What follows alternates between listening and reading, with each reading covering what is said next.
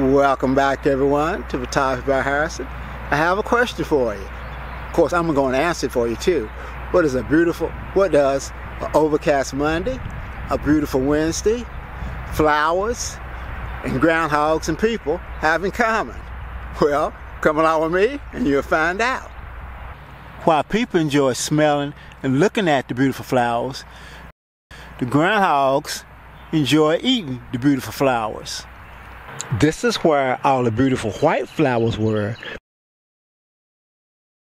before the groundhogs had a feast.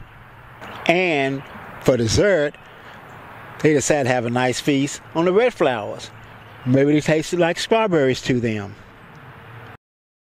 Now you know the answer to the question I asked you. But to be totally fair, I can't always blame the groundhogs. Although I did see the groundhogs over here late that evening right before I went to bed, so I'm giving them credit. But we do have deer running through the neighborhood. You know, we have foxes. I don't know if foxes like flowers or not, but we also have squirrels, we have rabbits, and we have muskrats. And we also have seen occasional beavers. So all any one of those could be responsible. Since I started blaming them, the groundhogs, I'm gonna stay with the groundhogs. With that being said, I want to thank you for coming along with me on this photographic journey. If you have any ideas, something you want me to do, if I can't do it, I'll try to do it. If you have any ideas where I can improve, also let me know. Because you know I say it all the time. When it comes to photography, no one knows it all. And the more you learn about photography, the more you learn you didn't know. And as always, again, I want to thank you for coming along with me on this journey, and I will see you next time.